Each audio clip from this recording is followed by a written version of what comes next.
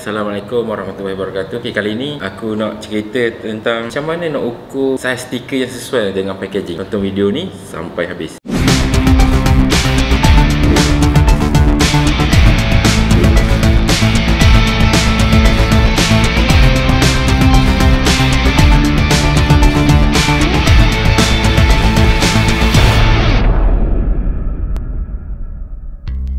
Bertemu kembali kita di channel Menteri Pinting bersama aku Naim Tani Sebagai yang baru di channel ni Menteri Pinting membantu usahawan terutamanya usahawan produk makanan dan minuman untuk membuat tiga label produk yang berkualiti, harga berbaloi dan cepat. Bagi yang belum subscribe, subscribe channel Menteri Painting dulu.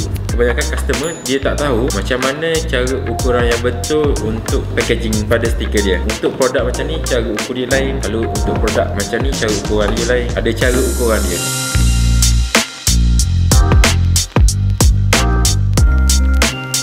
Yang pertama, yang korang perlu ada adalah peralatan. Mesti ada pembaris. Kalau tak ada pembaris, boleh gantikan dengan tali tip ke tali inci ke. Dan hari ni peralatan yang aku tunjuk adalah pembaris. Yang kedua adalah tali. Yang ketiga adalah kertas A4. Untuk membuat ukuran, kalau di kat atas ni kita boleh menggunakan pembaris saja. Tapi bulatan ni kita tak boleh nak guna pembaris. Kita kena menggunakan tali ataupun macam mana menggunakan kertas A4 ni. Cara pertama ukur je berapa ukuran bulat kat tabung ni. Contoh yang ni adalah lebih kurang 9 cm. So bagi tahu je customer service tu packaging saya bulat 9cm so tak semestinya buat stiker mesti saiz 9cm mungkin boleh jadi 8cm 7cm 6cm 5cm bergantung korang punya budget bergantung apa maklumat yang nak letak kat dalam stiker label tu ni yang pertama lah cara ukur cara mudah okay. cara kedua kalau nak ukur keliling kalau nak menggunakan pembaris boleh kemungkinan untuk dia lari tu tak tepat. Ok yang Pertama korang boleh menggunakan tali. Ambil tali dan juga pen lah Tanda. Contoh tanda dulu. Kat mana nak mula?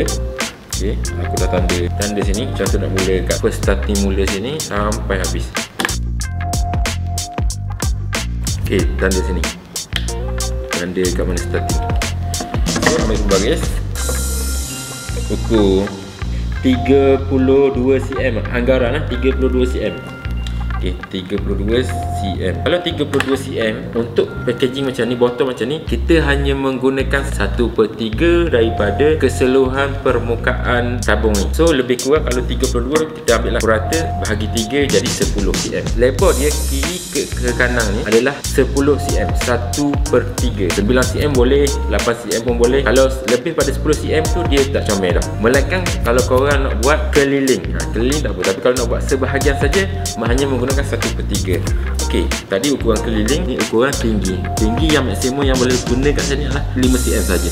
So kalau tu baik pun boleh guna 10 eh, kali 6 ataupun yang ni 8 kali 5 cm. So tu cara ukuran dia. Rule dia adalah kalau bulatan menggunakan satu per tiga. Tu maksimum kalau packaging macam ni aku ukur balik